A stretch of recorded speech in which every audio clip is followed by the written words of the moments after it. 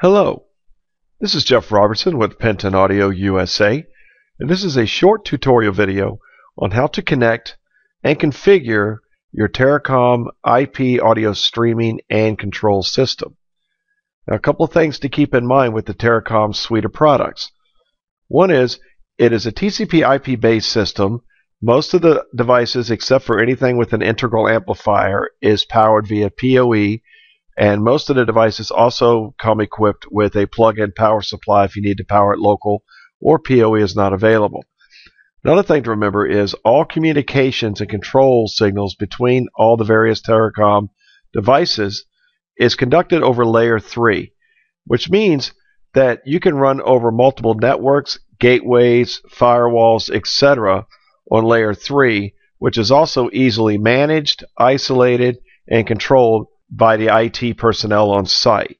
So that's an important thing to keep in mind. And it is also SIP based.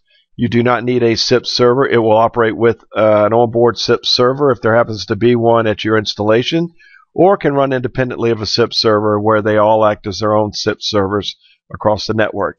And I'll explain a little more about that here in a bit. But right now, let's just get you started. Since you have your new Terracom device, how to physically connect to it, get into the programming and make some global changes that you would have to do with just about every Terracom device that you buy. Let's get started. Okay, before we get started, keep in mind all the programming and software inside the units is HTML browser based software. There is no separate software package or anything you need to download from our website or the internet. Just use your Internet Explorer that you happen to have on your computer. One note about the Internet Explorers. I like to use Mozilla Firefox. That is highly recommended. That or Chrome. Both work great. Internet Explorer from Microsoft, however, is not suggested or recommended for whatever reason. Sometimes there are fields that don't have all the values afforded to your options, or sometimes even values or selected fields aren't even visible. I have no idea why that is, but Internet Explorer seems to have that issue, but there's no issues with any of the other browsers, especially Mozilla Firefox or Chrome. So please use one of those to make sure you don't have any griefs or have to call our tech support. So I will open up my Mozilla Firefox browser. Okay, and we're all set. So we will enter in the IP address. I have an FDX, a full duplex IP module here connected up to my switch. So I will enter in the default IP address of the Terracom. They are all the same. They are 192 168.100.1.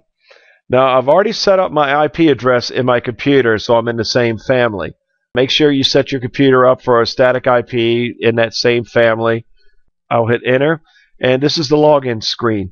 Every Terracom device that you have on your system or you try to log into will have this exact same look and feel and the same login screen. When you get to the login screen, what you're going to see is up here in the upper right hand corner, it tells you the model number of the device you're connected. It also tells you the version of the firmware, the software that's inside of the unit as well. And it also tells you what the IP address of the unit is. And I can see right here it's 192.168.101, which is the default. So to log in, username is admin, all lowercase, and the ID or password is admin, all lowercase as well we get to the main screen and once again the device type and the version of the firmware along with the serial number which is unique with the, the unit will be displayed right here. First thing you want to do is go over here to the setup one tab and we will click there and this is your main configuration screen or what we call our basic settings screen. So right up here in this corner right here is the network settings. You can set this up for dynamic host communications protocol. By default it's disabled and it's set for static IP here's the default one, and I want to change this to 205. And I'll leave the subnet mask and the gateways all the same. I could change the gateway here to 1. All right, and don't need to worry about the, the DNS. That's the network part. The serial is only if you're doing serial controls uh, for remote devices. We will not get into that. Uh, the system time, you can enable that, and you can actually set it live or you can have it actually grab it from your computer or a network time server. We won't go into that. And some of these other settings here are for third party or other advanced features, which are in other videos. Over here to the right, the upper right hand side, is a couple of key things you need to keep in mind. One is the transfer protocol. It defaults to TCP. TCP is only good or only active if you have five or less devices in your system. The reason is because TCP is a higher secured handshaking protocol. So when it sends a package or a command out or a status command out, it's actually looking for confirmation from the other side to say whether it received it or not. This slows down all the transmissions. And if you have over five devices in your system, this can cause problems, especially with the audio streaming and control portion. You want to go UDP if you have five or more Terracom devices in your system. UDP means it blasts all the information out, but it's not looking for any confirmation back or handshaking on there, so it speeds up the communications. Also, the firewall transversal mode is defaults to Terranet. If you have no SIP server that is doing all the controlling and talking with the systems on the network, then leave it at the default Terranet. If you do have a SIP server, then you have to enter all the SIP server and the RTP port information and the ID um, here. But in Terranet, you don't have to do that. You just leave it at the default SIP port and default RTP port, and you'll be good as gold. The other one is username. The username defaults to Ateis underscore and whatever the model number of the device that you're talking to or connected to. For right now, it's the FDX or the full duplex module. I want to change this because I want to say demo FDX. This username is important. It has nothing to do with the programming inside the device, but when you are using other devices, DSPs, or Terra Manager management software, or Terra Server scheduling and routing software, or any of the paging microphone stations, when you are mapping zones or buttons or images or whatever to this device, this will be the name that shows up in the list of devices. So if I had five FDX modules in five different buildings on my system, I'd want to give them unique names so I knew exactly which location each one was at. This is where you give that unique name right here. This is what will show up in the other list. That's all we're going to get into right now for the setups because a lot of these other settings are more advanced and for other activities that we'll describe in future videos.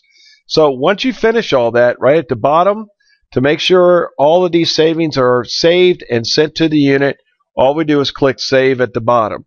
Now, since we changed an IP address on the unit, it's actually going to reboot the unit and kick me out. And then we'll get back in and I'll show you what that looks like now. There you go. Machine is rebooting. We got the countdown going up here.